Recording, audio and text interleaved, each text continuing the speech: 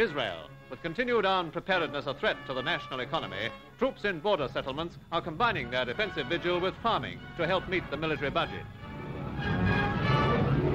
Women, too, are training as soldier farmers as Israel meets a difficult situation with courage and fortitude.